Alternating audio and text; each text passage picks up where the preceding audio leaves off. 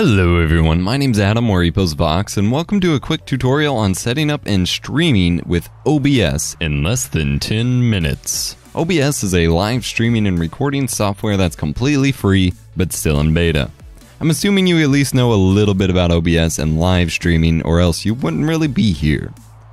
I would like to note, however, that OBS, like any streaming or recording software worth using, has many complex and finicky parts to it.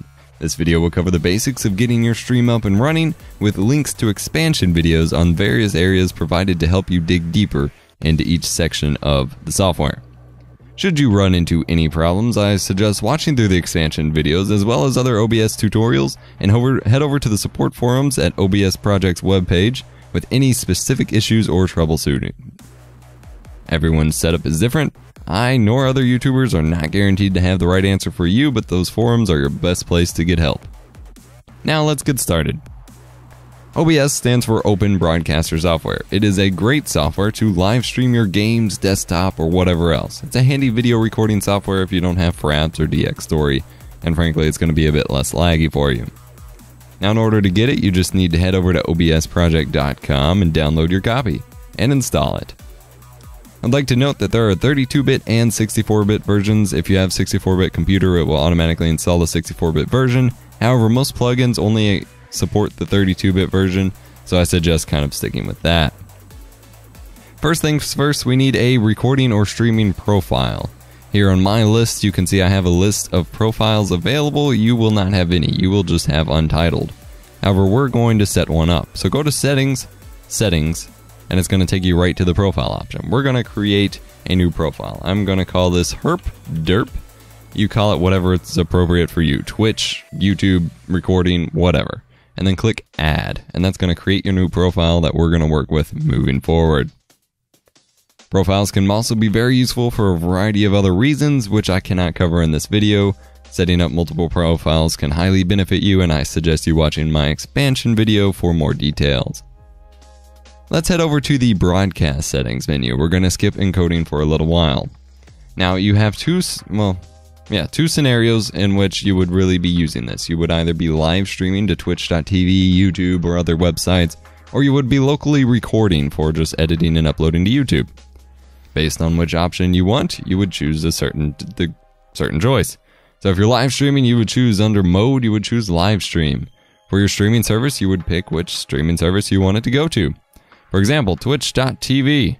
Your server, you would choose the server that is closest to you, and then you would get your stream key from your twitch.tv dashboard. Do not let anybody stream your key or see your key, as if they if they can see your key, they can stream to your stream, and you do not want that.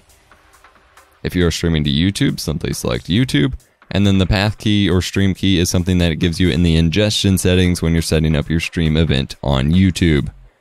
Do note if you're streaming to YouTube, you need to click the Advanced tab, apply your settings, click the Advanced tab, and set your keyframe interval to 2 seconds. It's just the thing you need for YouTube. Now, if you want to save a local copy of your stream's video just to re-upload or edit or something, check the Save to File box and give it a location. Also, make sure Auto Reconnect is selected. Click on that encoding menu. Make sure your settings are applied.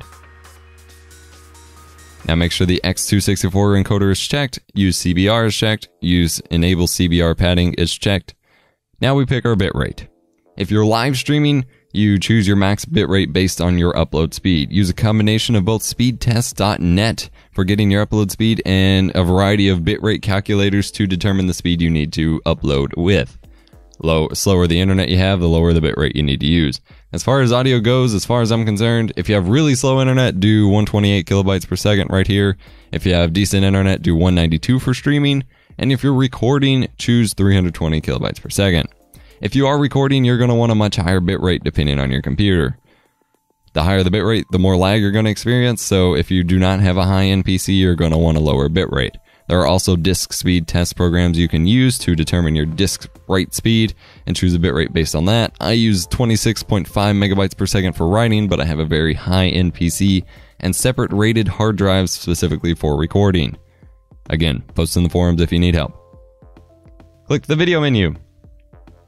Video adapter, this is your graphics card, the thing that handles your main screen and all of your games.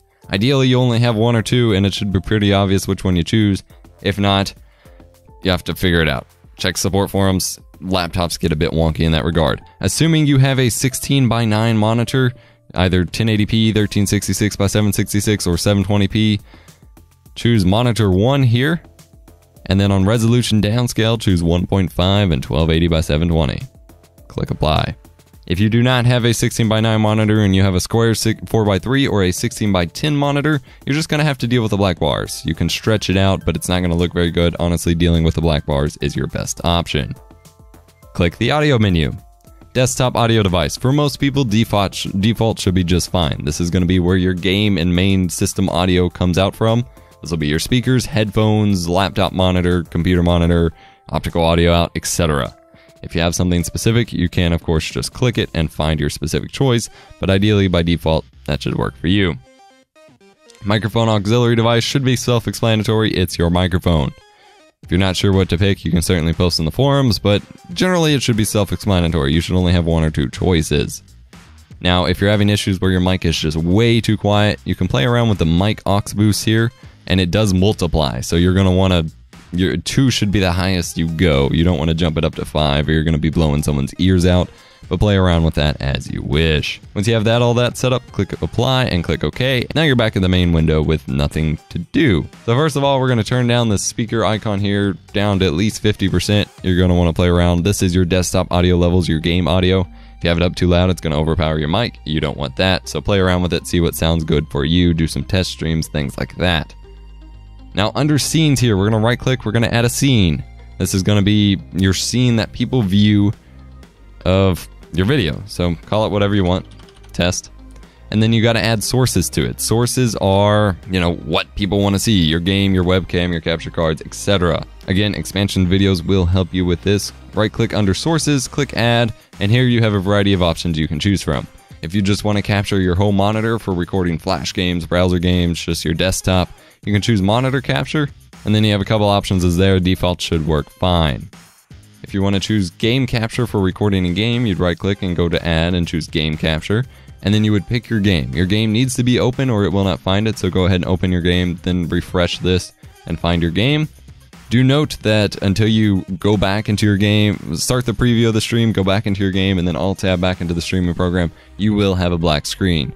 If you still have a black screen after doing all this, you may have some DirectX issues or graphics drivers issues. Again, post in the support forum. This would also be where you would add stream graphics such as overlays, banners, things like that by using an image or an image slideshow. If you wish to add your webcam, capture card, things like that, you would use video capture device. And that's where you can choose a variety of capture devices hooked up to your computer, my Elgato, my webcam, things like that. Anything that would not work in XSplit is not going to work here, so as far as I know, Hauppauge will not work. You have a few more buttons buttons here at the bottom. Preview stream is of course going to preview your stream. Edit scene is going to allow you to resize your specific windows so you can choose to overlay your webcam over in the corner, resize it, move it around, things like that. You can also right click to adjust position and size, reset it back to the size of the screen, move it up and down in your order list of sources, things like that. Once you're happy with it, uncheck edit scene, hit stop preview, and then you can start streaming or recording based on your settings that you chose in the settings and you're good to go. Again, if you have any questions, post in the support forums. Check out my expansion videos for expanded thoughts on each different settings section. I hope this video helped you out as fast to the point. That's what I'm going for. Thank you for watching, and otherwise, I'll see you in the next one. Thanks for watching Epos and Chew. Let's play together. If you enjoyed the video, consider clicking on the screen to contribute to our Patreon campaign. To watch another video, click on one of the video annotations on the screen above. Links are also provided to our website, Facebook, Instagram, and Twitter pages. See you next time.